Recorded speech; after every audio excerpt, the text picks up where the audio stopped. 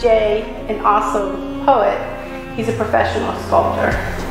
And you can find his work across the world.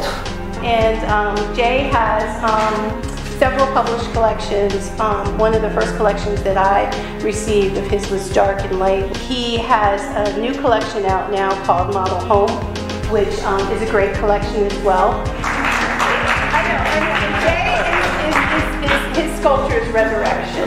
Resurrection. So I was drawn to this piece. We were sent photographs of all of Elaine's collection in this show, and this is the piece that um, spoke to me the loudest and insisted that I write about it. I am a liturgical artist, so naturally I was drawn to resurrection. And I was immediately taken to the, uh, in the New Testament, the early resurrection, which is Lazarus and that story. And everyone knows the end of the story. Jesus comes to the village and he raises Lazarus from the dead. But the earlier part of that story may be a little less familiar. Lazarus' relatives come to Jesus and ask him to come while Lazarus is still alive and heal him. And he declines and he declines and says, Oh, I'll come later. And that's what this poem is about resurrection.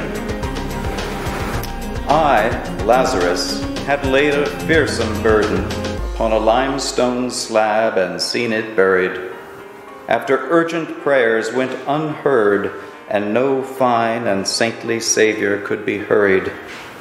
You raise a fever when you raise the dead, resting cold and gray as any stones, to lift the weight of what was once ahead, to balance it top those chalky bones is to perform a feat Herculean, to hoist a leaden mast with death imbued, to reanimate a bygone life unduly, then to call it back from well earned quietude.